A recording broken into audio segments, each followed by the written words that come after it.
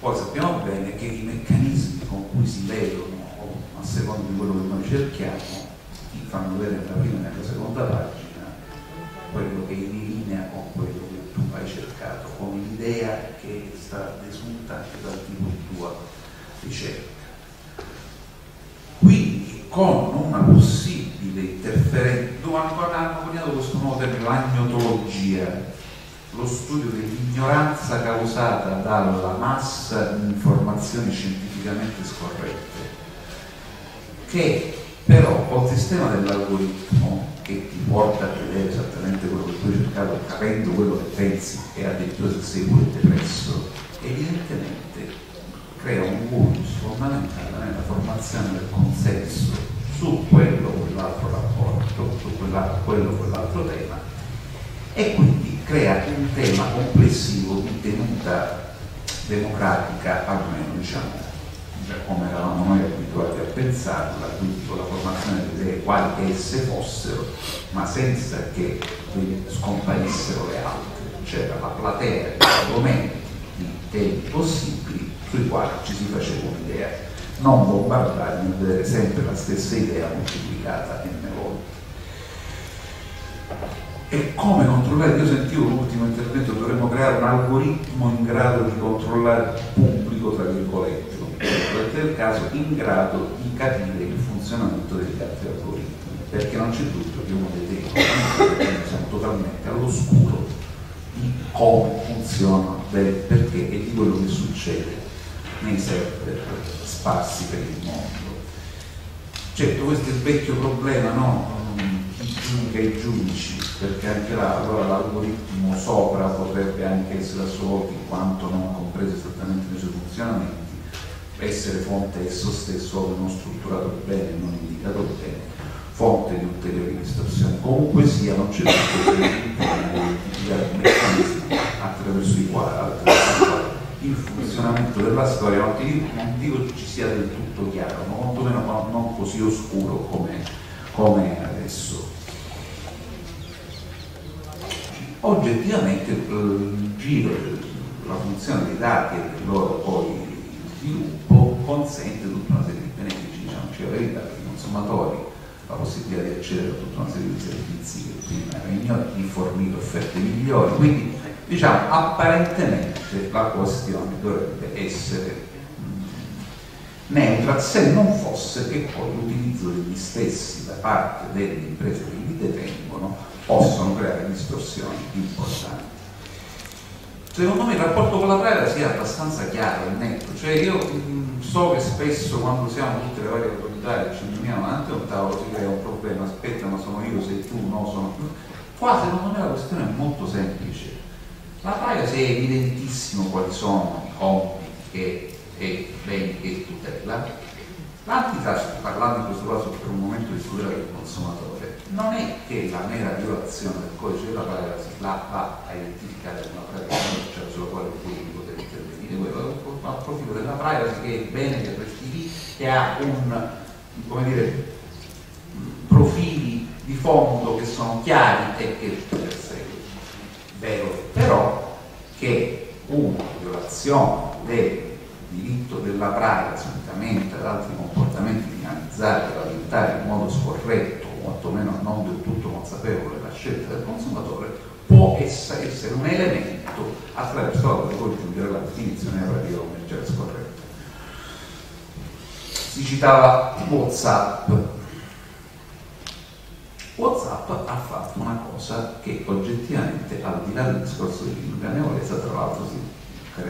traduceva anche in un'aggressività della pratica, perché quando tu fai credere diversamente dallo vero che sei necessariamente costretto a dare il tuo consenso a una certa cosa perché se no non potrai utilizzare quel servizio non è qui c'erano tutti gli estremi dell'indebito condizionamento. Abbiamo in corso il caso Facebook che finirà tra poco e ancora una volta non è, so, non è, in sé il discorso non hai dato il consenso secondo le regole della privacy perché ove così fosse noi saremmo stati da un'altra parte non saremmo intervenuti no? e tu non hai fornito tutte le indicazioni necessarie al fine di poter decidere se fare una determinata scelta perché non mi hai detto di questi benedetti dati esattamente che cosa ne avresti fatto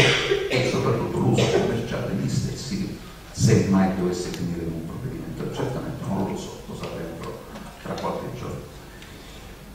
insomma voglio dire sono ambiti che sul serio c'è una complementarietà che secondo me ben lette e ben inquadrate non corrono neanche il rischio di sovrapporsi. Ognuno ha un suo ambito di riferimento preciso e devono concorrere entrambe nello stesso senso. Anche perché e qua infatti l'importanza dell'indagine conoscitiva congiunta che stiamo facendo con Privacy Logico dai primissimi dati che siamo riusciti a ottenere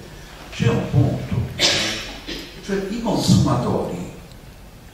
Allora, abbiamo scoperto che più o meno nel 90% dei casi le informative che noi abbiamo sulle varie app per sapere che cosa si può fare dei dati eccetera allora il 54%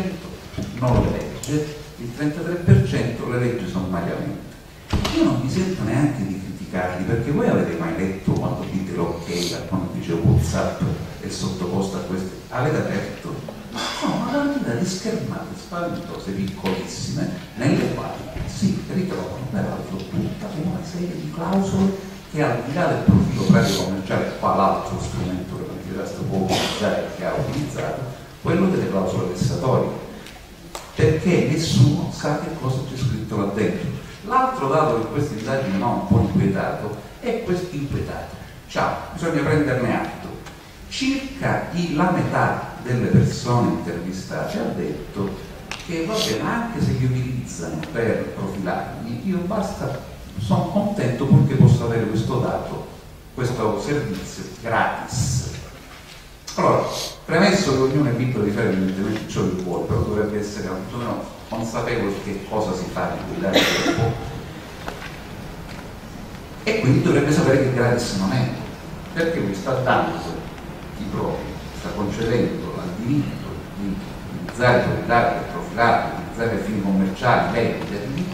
e quindi sta pagando con moneta sonante, poi può anche non interessare, però se non interessa questo ha a che fare con il tema che dicevo all'inizio, cioè la necessità di creare un contesto culturale tale da poter dire, far girare l'idea che oggi sono i dati ai fini commerciali, domani non è che c'è del tutto chiaro se ci si limiterà solo a fini commerciali o si andrà oltre. E allora questo ha a che fare esattamente con quella cornice di modello Stato del diritto che sono noi dobbiamo tentare di salvaguardare e che in questo momento è abbastanza a rischio. Ci potrebbero essere anche momenti di intervento sotto il profilo strettamente di diritto antitrust. Questo è un po' più complicato.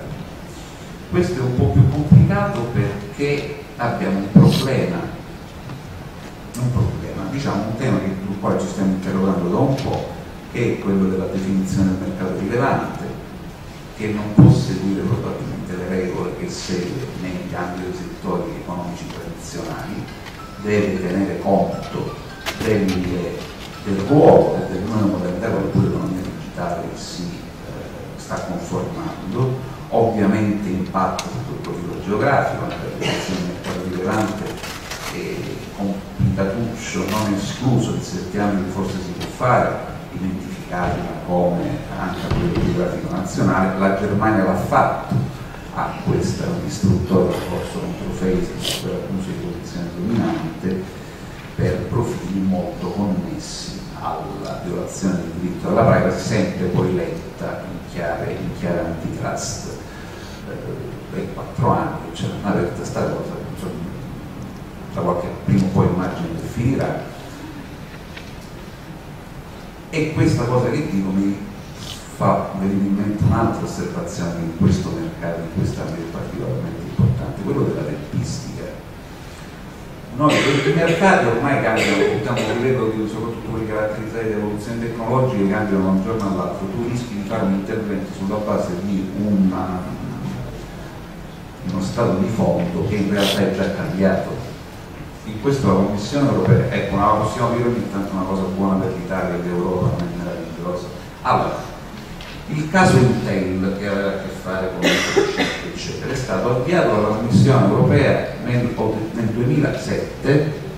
si è chiuso in Europa con la sentenza della Corte di Giustizia nel 2017, cioè quando ormai Intel praticamente non esisteva neanche più come meccanismo, allora la tempistica di intervento in questi mercati è ancora più fondamentale di quanto lo sia comunque la efficacia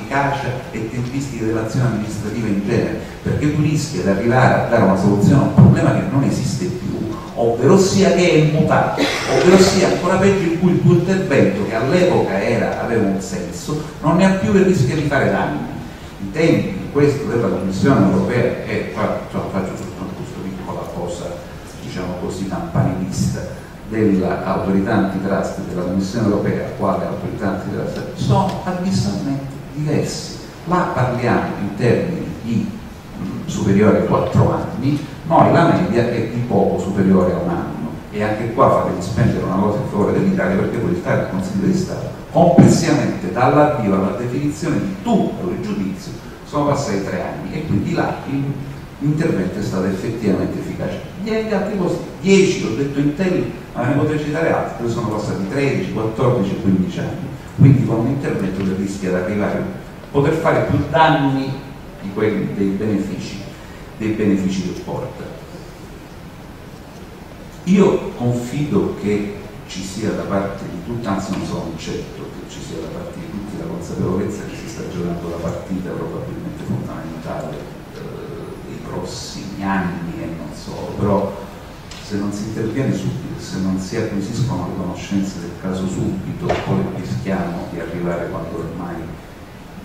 la cosa andrà talmente avanti che non è neanche più gestibile non più neanche come principio. Si parlava di intervento umano o meno poi nella storia. Certo, noi ci stiamo interrogando e non siamo soli, anche sulla possibilità di qualificare come intesa illecita punto di vista antitrust un'intesa che avvenga sui prezzi, per esempio sulla base di algoritmi che interloquiscono anche soltanto, come dire, non esplicitamente, implicitamente tra di loro. Cioè l'azione complessiva, io sono abbastanza convinto, fiducioso, che questo primo passo di questa indagine conoscitiva congiunta che è finalizzato proprio a identificare quali sono le criticità sotto tutti i vari settori, privacy, comunicazione, pluralismo e diritto antitrust, ovviamente inteso anche come la definizione della tutela del consumatore, ecco l'interazione di tutti questi mondi, tutti fatti insieme, può e io spero fornirà non la soluzione del caso, tutt'altro, però quantomeno quella base di conoscenza iniziale che consentirà a tutti quanti di intervenire possibilmente tempestivamente per evitare che sia troppo tardi. Vi ringrazio.